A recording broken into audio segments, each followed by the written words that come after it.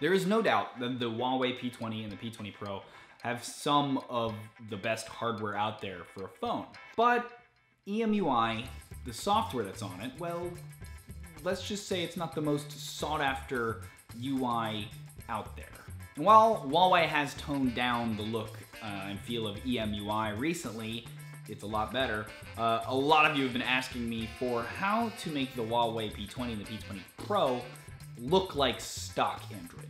And when I say stock Android, we usually now mean uh, what comes on the Pixel devices, because that's the closest thing as to what we have to call stock anymore.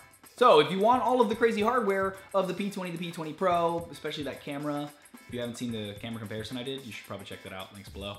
Um, but you want the look and feel of stock Android because that's your preference, no problem. Here's how to do it. Firstly, we need to change the launcher. Now, if you're not familiar, the launcher is basically the app that you use as your home screen. By changing it to another one, and there are plenty in the Play Store, by the way, you'll make probably the biggest impact on getting the Huawei P20 to look like stock Android. So first, we're gonna head to the Play Store and download the Nova launcher.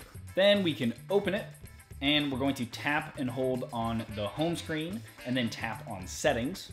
And to customize it to make it look like stock Android, we're gonna go through a few of the settings in here with tapping on desktop, then search bar style, and we're gonna make sure we select the rounded one, and scroll down and make sure we have the multicolored G. And then we're gonna go to app and widget drawers, and then turn on swipe to open. Next is dock, and then search bar in dock, and choose below. Finally, we have look and feel, adaptive icon style, choose the rounded icons, and make sure to turn on legacy apps. And now it'll look like stock Android. Now let's get the stock messaging app. Now besides the swiping way of messages that this app provides, that my OCD loves, this is as stock of a look as you can get for the messaging app.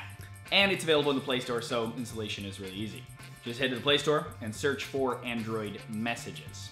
We're gonna install it. You'll know it's the right one because it has Google Inc. as the developer, by the way. And then you can open the app and just follow the instructions to make it the default messaging app. Next, let's get the stock Google keyboard to go with the messaging app. Again, this is gonna be pretty easy. Just go to the Play Store and search for Gboard. Then you can install it and open the app, and again, follow its prompts to set it up as the default keyboard. Now, there is no stock dialer or contacts app in the Play Store or on the web that I could find at least. If you do, please link it below. But there is a pretty good clone on the Play Store called ExDialer. Head to the Play Store again and search for and install ExDialer, EX Dialer.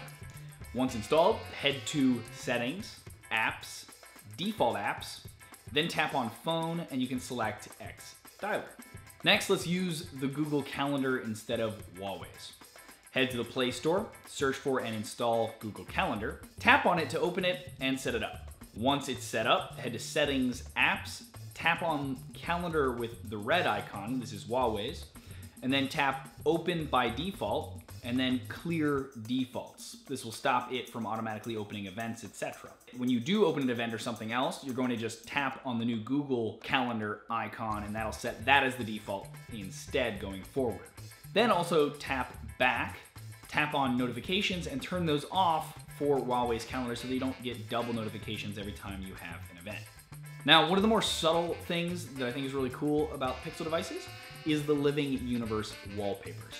Now these are wallpapers that move slightly in the background and are not supposed to work on any of their devices, but let's head to the Play Store and download the Google Wallpapers app. Now these won't be available in it by default, but we need it installed to then get the Living Universe wallpapers to show up in it with the next step. That step is to head to the link I have listed below this video um, to take you to my site, which will then have a link to take you to XDA, and you can download the APK file listed in the first post. Make sure that you do this again on your phone to save the additional step of having to transfer it to your phone once you download it from your computer. Once it's downloaded, you can just tap install. Now after that, we're gonna head to the Google Wallpapers app and you'll see a section for live wallpapers. You might have to do a reboot of your phone, by the way, to get this to show up. But then tap that and you'll see the new Living Universe ones inside there. Tap one and set it as your home screen, lock screen, or both.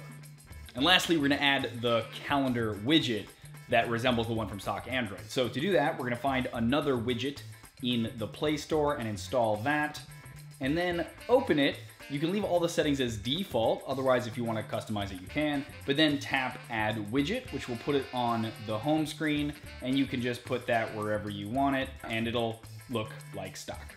And there you go, you're looking pretty stock.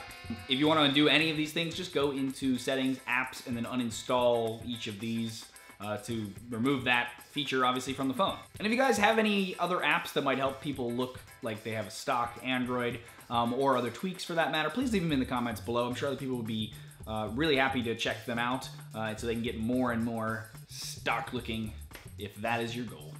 There you guys. I hope you enjoyed that. If you did, please thumbs up it or share it. It's greatly appreciated.